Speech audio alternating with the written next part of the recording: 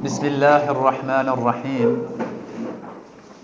الحمد لله رب العالمين وأفضل الصلاة وأتم التسليم على أشرف المرسلين سيدنا محمد وعلى آله وأصحابه أجمعين. أما بعد إخواني أخواتي السلام عليكم ورحمة الله وبركاته. Hier, nous avons essayé de, de cerner, de donner les grandes lignes euh, de la façon avec laquelle le prophète sallallahu alayhi wa sallam a transmis une spiritualité, la façon avec laquelle il a essayé d'éduquer ses contemporains. Et cette éducation spirituelle, donc, elle, euh, on l'a vu, elle passe par plusieurs choses, notamment le fait de donner aux croyants les moyens de se connaître lui-même, de connaître sur quelle partie de lui-même il peut s'appuyer, qu'est-ce qui est positif en lui, et puis quelle est la partie de lui-même avec laquelle il doit prendre de la distance, et quelle est cette partie donc qu'il doit purifier? Autrement dit, on a essayé d'apprendre à lire les hadiths avec le regard d'une perspective spirituelle. Essayez de comprendre les 23 années d'enseignement du prophète sallallahu alayhi wa comme la réalisation de ce qu'il a dit makarim al Je n'ai été envoyé que pour parfaire la noblesse de caractère. Aujourd'hui, on va essayer donc de, lire le Coran, d'apprendre à lire le Coran peut-être avec un peu plus de profondeur. De la même façon qu'on a essayé d'apprendre à lire les, hadiths avec une plus grande profondeur, il est souhaitable et important, bien sûr, d'apprendre à lire le Coran avec une plus grande profondeur. Et on va s'appuyer sur cela sur, le livre de l'imam al-Ghazali, euh, que j'ai traduit sous le titre Lire et comprendre le Coran. C'est en fait une partie de son ouvrage Ihya ulumuddin. C'est le huitième chapitre de son immense somme spirituelle qui s'appelle Ihya ulumuddin, c'est-à-dire la revivification des sciences de la religion. Euh, vous avez vu hier dans le film qui retrace sa vie que ce grand savant, ce grand théologien, ce grand faqih a eu une remise en cause très profonde, une crise spirituelle, on pourrait dire. Il est passé par une crise spirituelle où il a remis en cause sa propre sincérité. Et comme il le dit lui-même, sa remise en cause a été tellement profonde qu'il n'arrivait même plus à enseigner.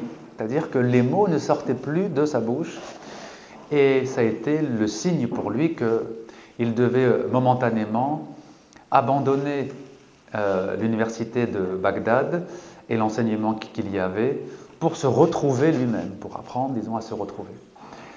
Donc il a fait le Hajj, ensuite il est parti euh, dans la ville de Jérusalem, il est resté un certain temps là-bas, puis il est parti à Damas, il est resté un certain temps aussi. Donc c'était un temps consacré à la fois au ibadat et euh, à l'écriture.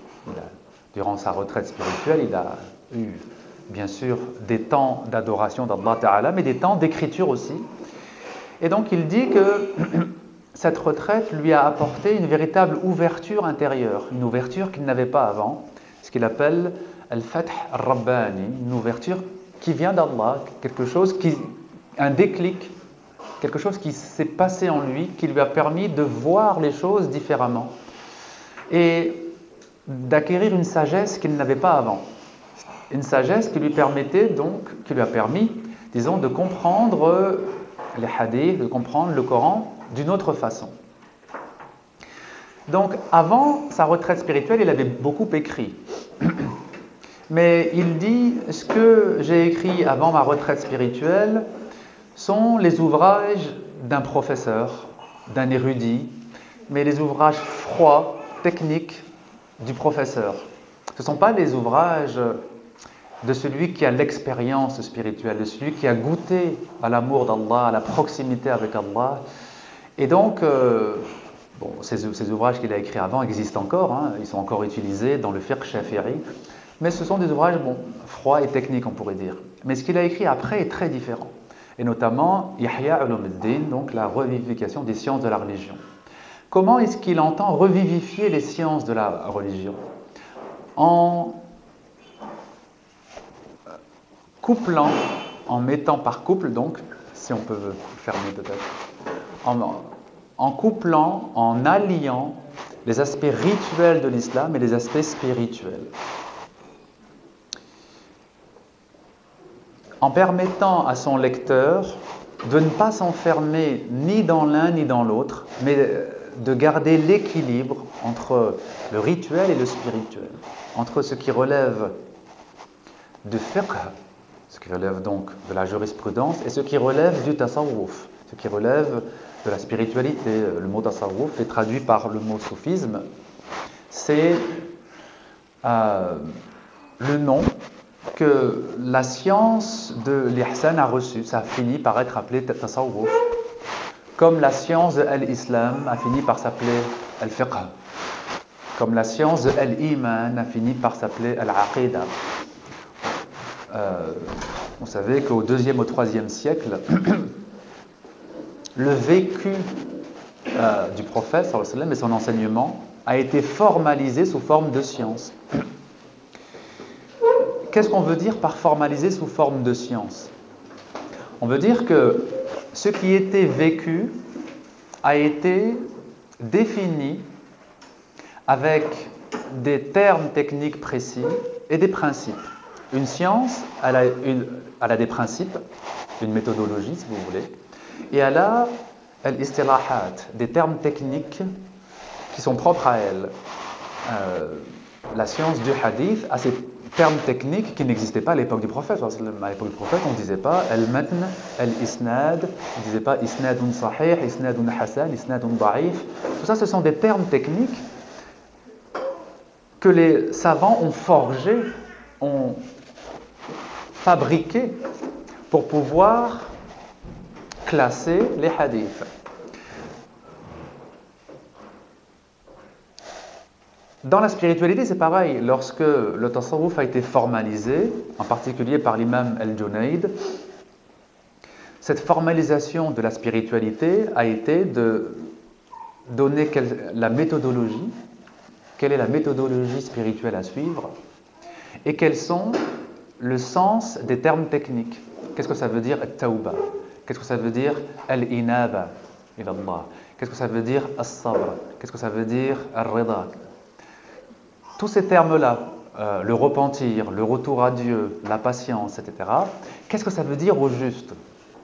Qu'est-ce que ça veut dire techniquement, de manière rigoureuse? Tout le monde comprend ce que veut dire sobre, bon, ça veut dire euh, patience, mais ça c'est le sens courant.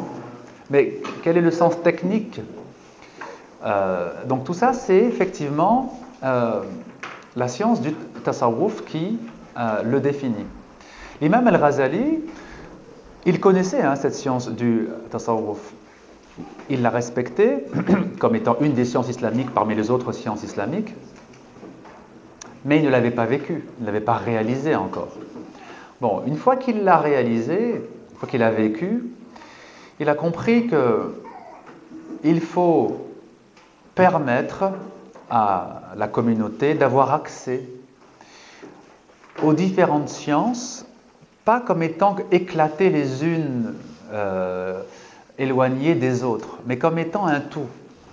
C'est-à-dire que quand on se spécialise, quand on crée des sciences spécialisées, c'est utile, ça rend service, et en même temps, ça crée des cloisons.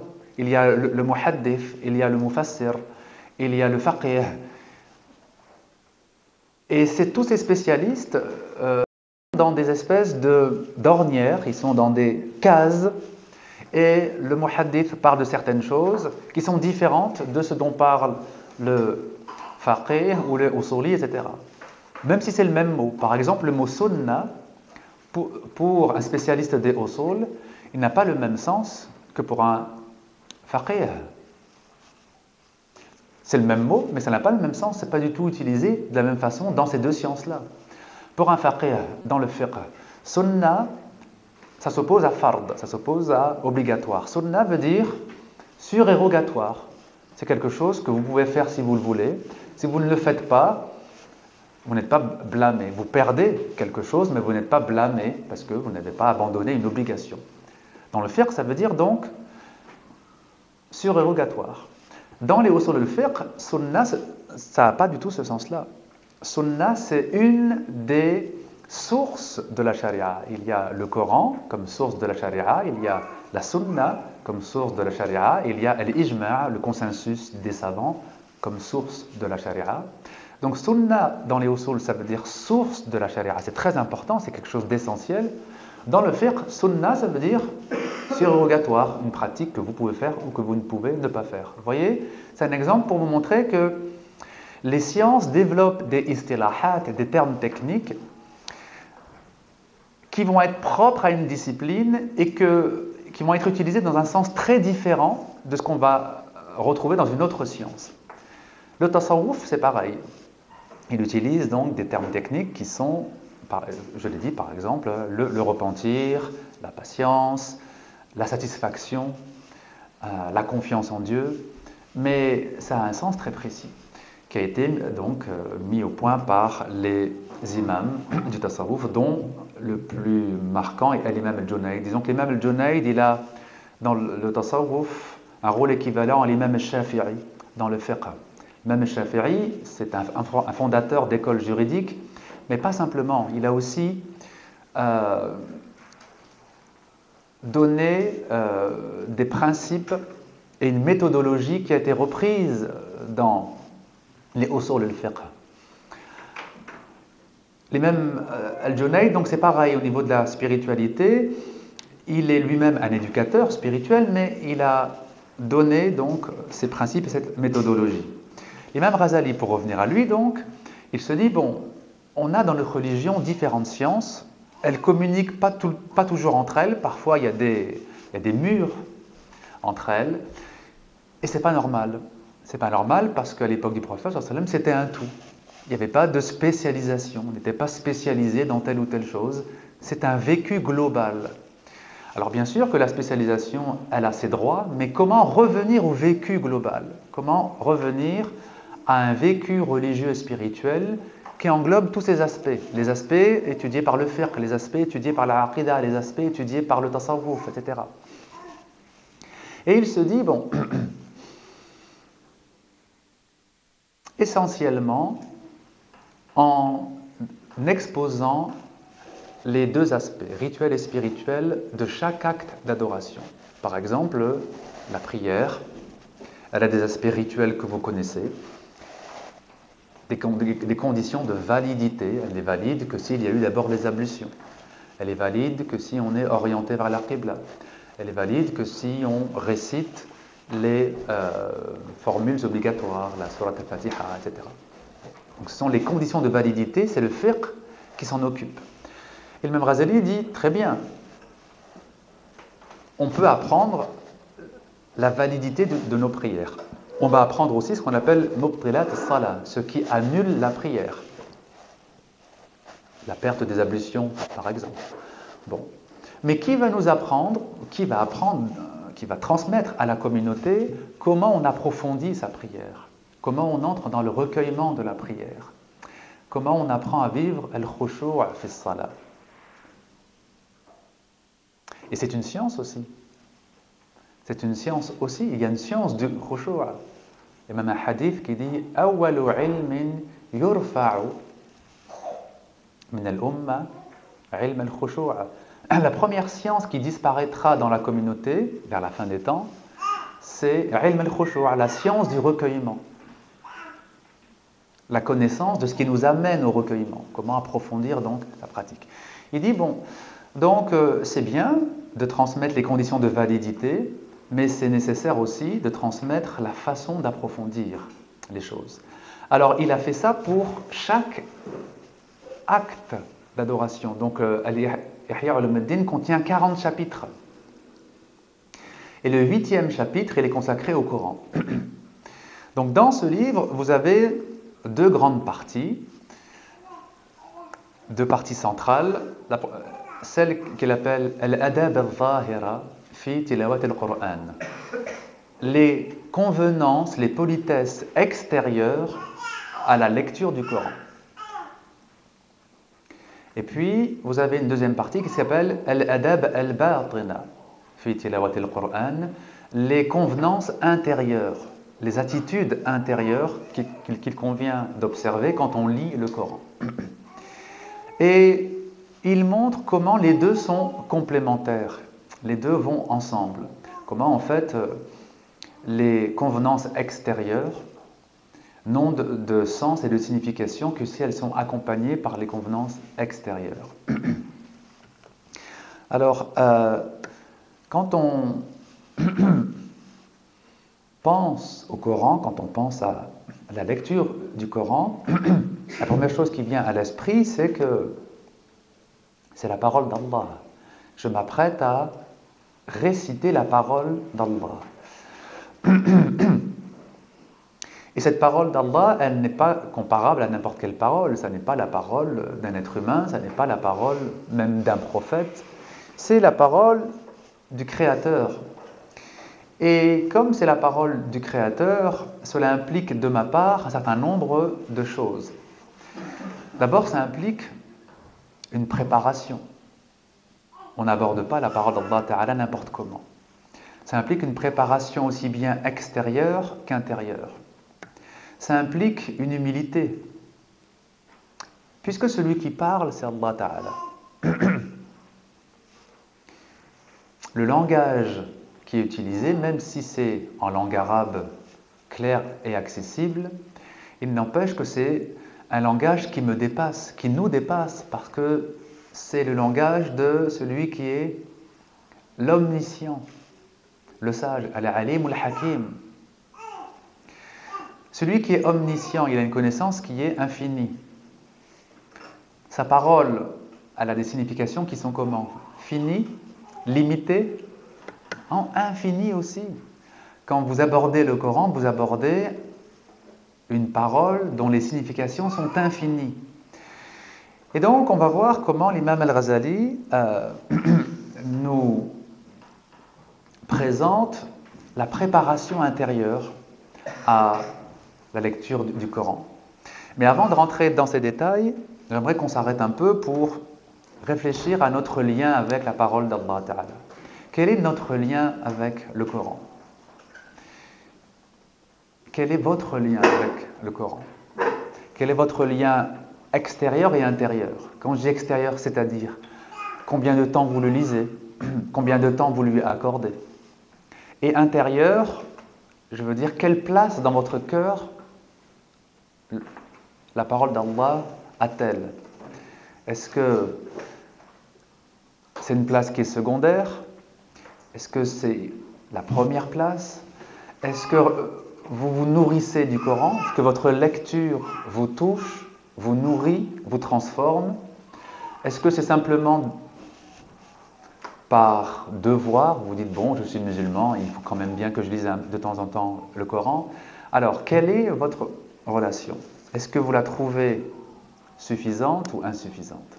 Est-ce que par rapport au don d'Allah Ta'ala, le fait qu'il a révélé sa parole, qu'il nous l'a rendu accessible Est-ce que vous pensez que votre vécu, votre pratique est à la hauteur de ce don C'est tout ça, je crois, sur lequel il faut que nous nous interrogions et que, que, nous, que nous réfléchissions sur tout cela, notre rapport avec le Coran. Parce qu'il n'y a pas de réforme intérieure qui ne passe par une réforme de notre lien avec le Coran.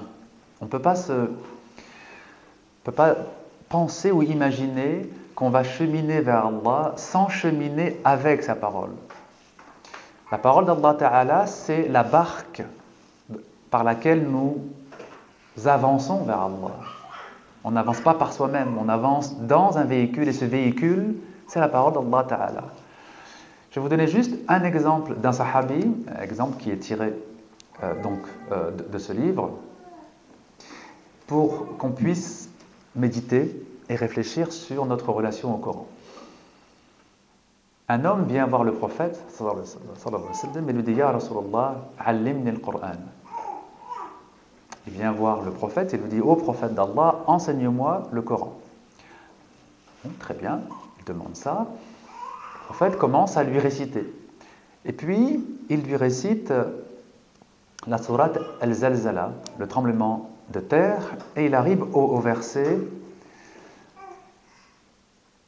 فمن يعمل مثقال ذرة خيرا يراه ومن يعمل مثقال ذرة شرا يراه Celui qui fait le bien du poids d'un atome le verra, celui qui fait le mal du poids d'un atome le verra. Et cet homme dit Kafa ya Rasulallah. Il lui dit Stop, ô envoyé d'Allah. Et il s'en va. Il arrête le prophète et il s'en va. Les autres compagnons sont un peu étonnés en se disant Mais il demande au prophète de lui enseigner euh, le, Coran, et puis c'est lui qui lui dit stop, il ne laisse pas le prophète lui enseigner la part que lui juge importante ou que lui juge utile. C'est lui qui est son propre juge et qui dit non, non maintenant c'est bon, stop. Et il s'en va. Et le prophète, au lieu de le critiquer, il dit aux Sahaba, en, pointant cet homme, In sarafa wa huwa Cet homme s'en va et c'est maintenant un savant. Qu'est-ce que ça veut dire? Ça veut dire que cet homme, quand il a entendu celui qui fait le bien du poids d'un atome le verra, celui qui fait le mal du poids d'un atome le verra, il a compris la force de ce verset. Il a compris le poids de ce verset et il s'est dit ça, c'est déjà pour moi des années de travail. J'ai des années de travail pour réaliser réellement ce verset. Parce que ce verset, quand on le prend réellement au sérieux, quand on le prend vraiment pour ce qu'il nous dit, il nous transformer complètement toute notre vie. Il nous dit qu'il n'y a pas d'acte anodin, il n'y a pas de, choses qu'on puisse prendre à la légère en disant Bon, c'est une toute petite œuvre de bien. Est-ce que c'est vraiment la peine que je le fasse? Ça ne va pas changer la face du monde. Et on abandonne donc cet acte de bien. Non, même si le bien est infime, il sera récompensé. Et de même, ce verset nous, nous empêche d'avoir aucun laxisme. Parce qu'il n'y a pas de petites mauvaises actions, il n'y a pas de petits péchés, au sens où c'est vrai que c'est pas bien, mais bon, c'est pas très méchant, alors je le fais. Non, parce que même celui qui fait le mal du poids d'un atome, c'est-à-dire une trace infime de mal, il le verra aussi. Donc, il comprend que ce verset concerne toute la vie, englobe chacune de nos actions, est, est un guide pour chaque situation de notre vie. Et c'est pour ça qu'il en comprend le poids énorme et qu'il dit ça me suffit. C'est déjà énorme. Je vais méditer sur le fait que celui qui fait le bien du poids d'un atome le verra, celui qui fait le mal du poids d'un atome le verra. Autrement dit, ces hommes et ces femmes avaient cette façon d'entendre la parole d'Allah au sens fort, de comprendre les implications que cela pouvait poser. Et le témoignage du prophète est très fort. Il dit Cet homme vient de partir et c'est maintenant un savant. Pourquoi est-ce que c'est un savant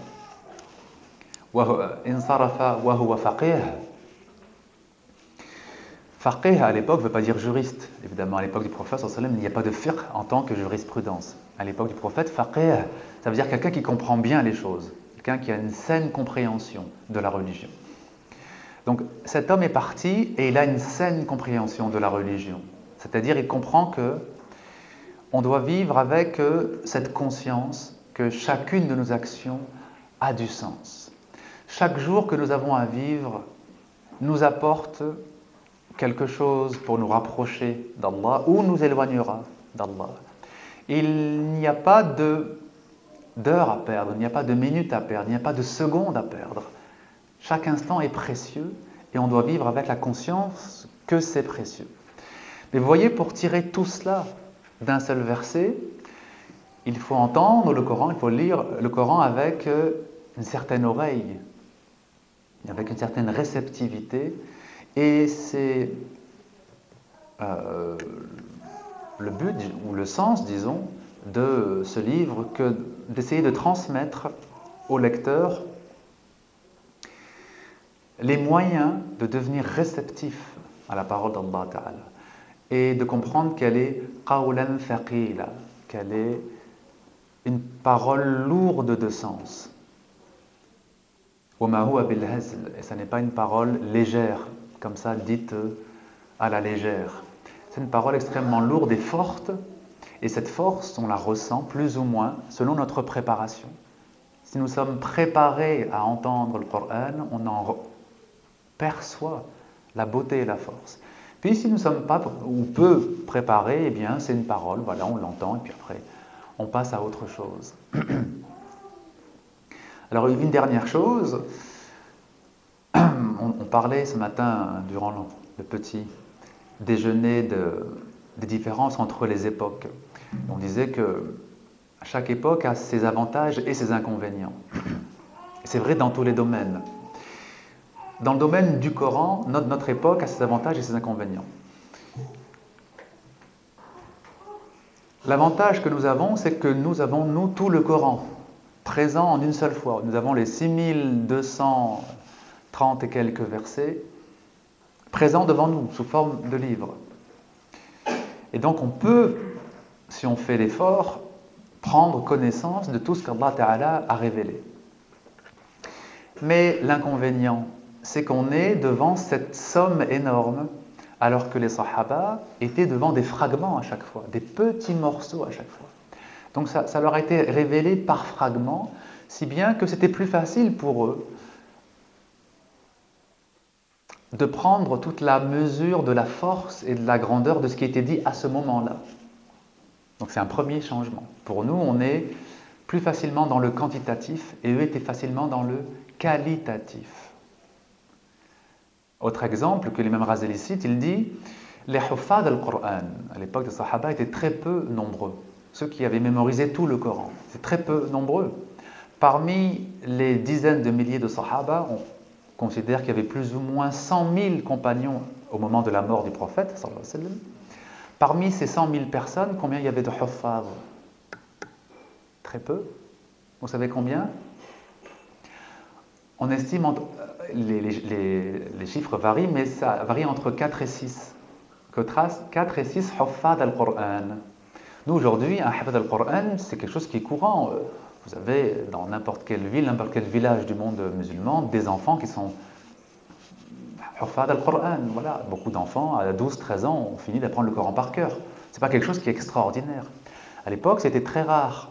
Pourquoi? Parce qu'il n'était pas dans le quantitatif. Ce n'était pas un but en soi pour eux de mémoriser tout le Coran. Le but, il était al-amal bil-Qur'an, la mise en pratique, et ça leur prenait beaucoup de temps. Parfois, certains restaient des années avec un ou deux versets pour réellement le, vivre, le comprendre et l'assimiler. Donc, vous voyez, il y a des différences euh, qui sont liées tout simplement au fait qu'eux ont vécu la révélation progressive. Et nous, nous avons, pour nous, la, révélation, c'est, un bloc. Le Coran, il est en bloc devant nous.